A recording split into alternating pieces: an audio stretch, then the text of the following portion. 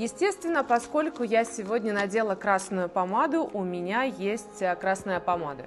Посчитать, сколько красных помад у меня есть, невозможно, потому что я люблю красные помады, как вы знаете. Помада всегда со мной, и э, на самом деле не только та, которая на мне в а, какой-то определенный день, у меня много с собой частенько помад.